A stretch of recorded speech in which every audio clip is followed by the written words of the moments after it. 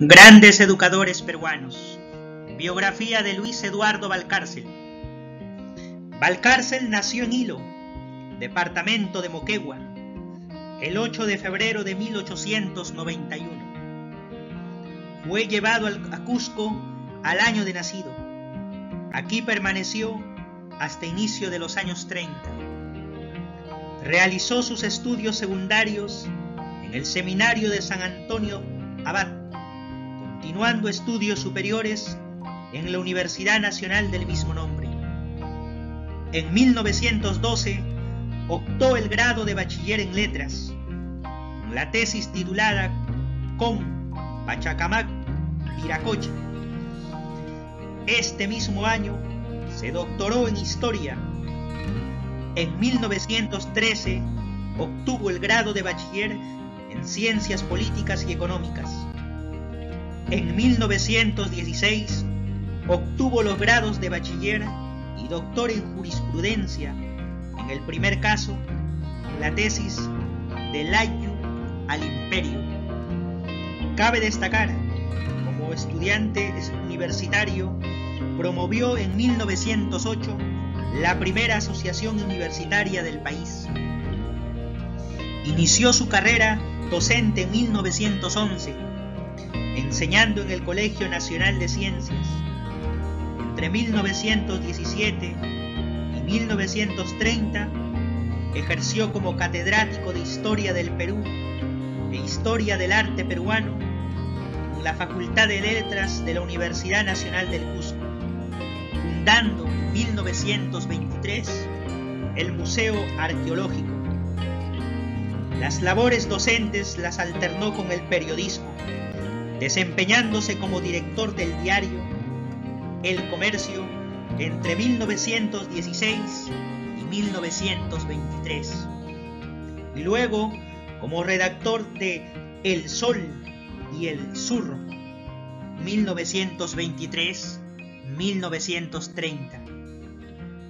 En 1930 fue designado director del Museo Bolivariano, lo cual obligó su traslado a Lima. Luego, con el mismo cargo, pasaría al Museo de Arqueología Peruana. Tuvo bajo su autoridad todos los museos pertenecientes al Estado, organizando el Museo de la Cultura Peruana en 1945. Entre 1945 y 1947 fue ministro de Educación Pública. Su incorporación a la Universidad Mayor de San Marcos se remonta a 1931 como catedrático de Historia del Perú. Asimismo, entre 1946 y 1961 inició los cursos de Historia de la Cultura Peruana e Introducción a la Etnología. Fue miembro de la Academia Nacional de Historia, fundador, junto con otras personalidades, de la Asociación Nacional de Escritores y Artistas, siendo su presidente entre 1940 y 1942 y nuevamente en 1958. En 1961 se retiró definitivamente de las labores académicas, siendo decano de la Facultad de Letras de la Universidad de San Marcos. Fue declarado catedrático emérito por sus 30 años de labor. En San Marcos fueron importantes también sus aportes al desarrollo de las ciencias sociales e investigaciones lingüísticas. Muere en Lima en 1987. La visión indigenista de Valcárcel. Luis Eduardo Valcárcel fue un indigenista por excelencia. Esta visión no solo brota como consecuencia de sus estudios del pasado peruano, en su condición de historiador, sino del pensador que desde una lectura objetiva de la realidad de su época hace visible la situación de marginación y hasta de exclusión que desde, desde la conquista seguía caracterizando a ese amplio sector de la población peruana. esta visión actualizada de una realidad que no había significado a, largo, lo largo de los siglos, según revela una transformación profunda en la condición humana del aborigen, es la que habría de marcar el proceso que siguió su pensamiento. Fundado, ahora sí, en el estudio de la historia y orientado fundamentalmente a la reivindicación del indio. Balcárcer constituye la negación de aquellos historiadores, en palabras del maestro Basadre, no sólo se solazan con el pasado, sino que, más bien, asume esa doble responsabilidad, ese doble esfuerzo de indagar en el pasado con la intención de proyectarse al porvenir. En esta actitud de vida, la que le da razones a José Carlos Mariátegui, para que precisamente en el prólogo a Tempestad en los Andes se expresara de él en los siguientes términos. No se propone meramente registrar los hechos que anuncian o señalan la formación de nueva conciencia indígena, sino traducir su íntimo sentido histórico, ayudando a esa conciencia indígena a encontrarse y revelarse a sí mismo. La interpretación en este caso, tal vez como en ninguno, asume el valor de una creación. Para Balcarce, el problema radica en la ruptura que se produce de la relación hombre-naturaleza, eje sobre el cual había girado se había sostenido el desarrollo de la organización económica, política social y cultural del hombre peruano durante el periodo inca, en la que la actividad agrícola se concibió como una forma de adecuarse y optimizar el uso del territorio. Se trata de una ruptura, agrega, que si bien surge con el dominio español, durante el virreinato no se detiene, sino que se prolonga con la República. Ruptura que ha significado para el indio, según el autor, vivir en la lucha permanente por su sobrevivencia, no solo en el plano material, sino culturalmente hablando. Esto explica su rechazo enérgico al hecho de que en pleno siglo XX, y pese a los adelantos tecnológicos alcanzados, millones de personas viviesen aún en el campo en condiciones feudales. De ese proceso frustrado de esa ruptura antes aludida, del sometimiento permanente que impidió por siglos superar su condición de dominado, surgió su tesis de que la reivindicación del indio tenía que ser una tarea primordial en cualquier proceso de transformación que se emprendiera frente a la realidad nacional.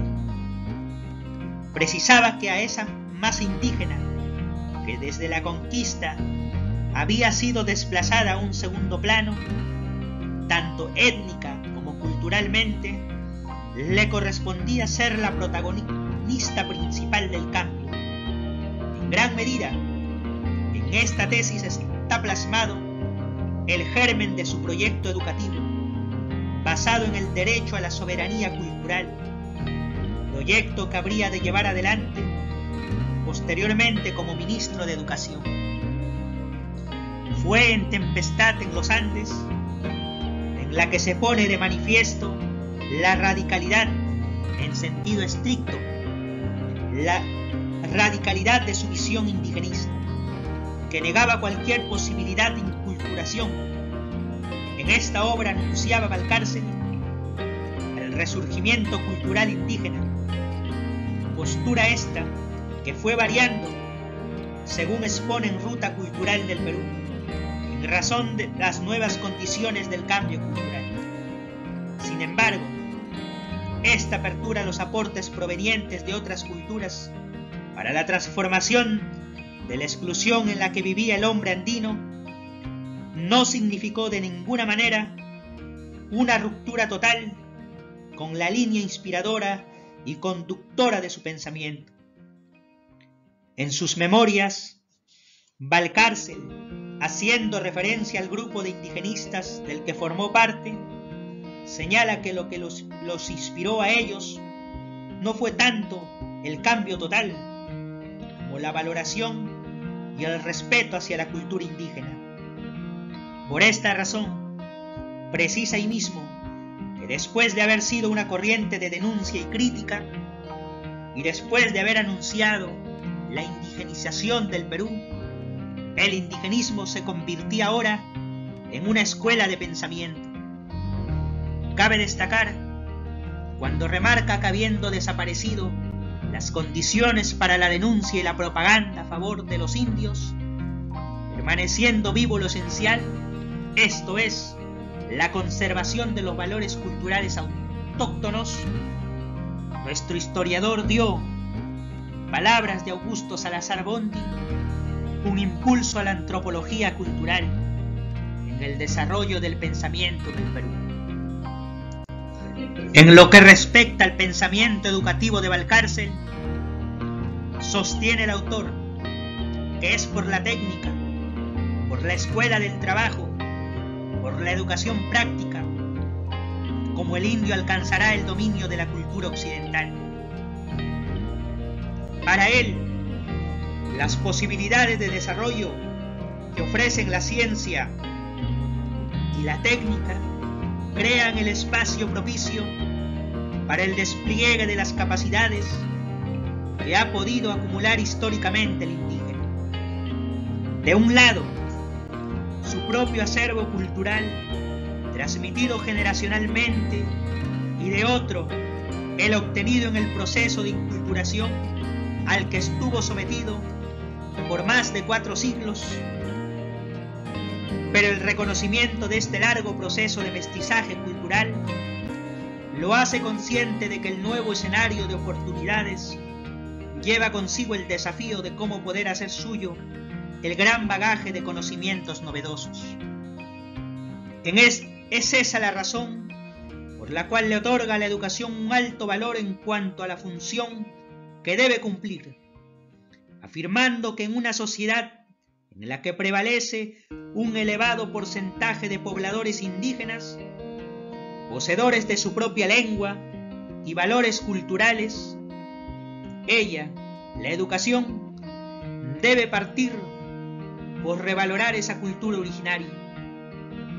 En esa particular relevancia que le asigna la educación para poder afrontar el reto de asimilar la ciencia y la técnica, subraya que desde el punto de vista económico y no meramente desde un miraje ético o humanitario, conviene al Perú enfrentar el problema de la inadecuada educación del pueblo indio. Ese planteamiento está pasando del terreno ideológico reivindicacionista al político de la planificación industrial. A Valcárcel lo impulsaba el principio de que cada hombre nace dentro de determinada cultura y solo voluntariamente puede adoptar los elementos de otra, así como el que la nación no puede ser la simple suma de unidades homogéneas, sino la activa coordinación entre grupos distintos. En razón de ello, es que no cesó en la defensa de ese principio de conservación de la personalidad cultural de las diferentes agrupaciones indígenas presentes en el territorio nacional, sin que ello significara, y en esto fue lo suficientemente enfático, su apartamiento y segregación de la vida nacional. En este sentido, supo mantener intacta la esencia de su indigenismo. Durante los dos años que estuvo a cargo de la cartera de educación, tuvo que superar problemas administrativos y económicos a fin de lograr un objetivo que consideraba fundamental, el de transformar al ministerio de organismo administrador de centros escolares, el agente impulsor del desarrollo cultural. Desde esta perspectiva, más allá de trabajar para darle a la educación escolar y técnica el mayor nivel de calidad posible, y las mejores condiciones para su desempeño, tuvo especial preocupación por el desarrollo de la educación artística, para lo cual impulsó la creación de instituciones permitiesen promover y fortalecer el arte y la cultura, creándose así, bajo su gestión, la Escuela de Arte Dramático, la Compañía Nacional de Teatro, la sección folclórica del Conservatorio Nacional de Música, el Archivo Nacional del Folclore y la Escuela Regional de Música del Cusco. Indudablemente que Valcárcel estaba muy consciente que para llevar a cabo todo el proyecto educativo que tenía pensado, básicamente para dar curso a las innovaciones, era necesario y fundamental aumentar, dentro del presupuesto general de la República, la partida destinada al sector educación, que por años estaba en abandono, constituyendo uno de los grandes obstáculos para realizar una labor más eficiente. De ahí que, conociendo la concepción estrecha que tenían los parlamentarios de, de las labores educativas, dado que se carecía de la visión de un Ministerio de Educación, haciendo aportes sustantivos al desarrollo cultural del país y a la integración de la población, una de las actividades que asumió con especial dedicación fue la preparación minuciosa y didáctica de la del proyecto de presupuesto, de tal manera que al ser sometido al debate parlamentario no se encontrase objeciones a la propuesta presentada. Es así que desde una perspectiva etnológica debió mostrar a sus oyentes la compleja realidad del país para que tomaran conciencia que cualquier plan de desarrollo pasaba por enfrentar el problema de la diversidad cultural, a la que se sumaban las diferencias geográficas. Además pretendía llamar la atención sobre la importancia del proyecto de educación rural, un programa de escuelas de campo para campesinos muy distintas a las urbanas. Para Valcárcel, el etnólogo, especialista en el estudio del hombre, no cumpliría su primordial misión si, como resultado de sus investigaciones, no denunciase la inferioridad y el sufrimiento a que están reducidos millones de seres. Esta tarea, que supo asumir como una responsabilidad ética, lo habría de distanciar de cualquier actitud meramente científica, que lo limitara a dedicarse a establecer una mera caracterización del hombre peruano a lo largo de su historia. El pensamiento de Valcárcel está, más bien, impregnado de un indigenismo muy particular que lo lleva a promover la creación de una cultura sentada en la propia historia, sin que ello signifique no se alimente de los frutos que trajo la modernidad. Lo que defiende en la promoción de ese hombre nuevo es la conservación de su propia identidad, basada en el desarrollo que logró alcanzar y que sobre todo pudo conservar y defender pese a los siglos de avasallamiento al que estuvo sometido. Esta apertura de pensamiento le permite tomar conciencia sobre la condición humana del mundo indígena, aquellos 5 millones a los que siempre aludía, se hace más evidente cuando, aludiendo a tempestad en los Andes, Balcarcel afirma que ahí se simbolizó esa forma de entrever o profetizar el resurgimiento indiano. Para casi 20 años después, Ruta Cultural del Perú sostenga que el indio de hoy es una sombra casi del hombre del Tahuantinsuyo y no es ni un esbozo de civilizado occidentaloide, reconociendo en ello, sin embargo, una mera situación que no imprime sello perdurable en el alma india. Situación que la percibe transitoria como para decir que todo nos conduce a afirmar que el indio está saliendo de ese oscurecimiento y que el Perú no se da cuenta aún del tremendo hecho que significa el despertar de 5 millones de hombres. Son los valores que conserva el indio como herencia de su cultura milenaria lo que lo ha dispuesto y dispone, incluso ahora, ha de sostener el autor, enfrentar siempre lo nuevo, los riesgos que todo ello ha supuesto para su sobrevivencia.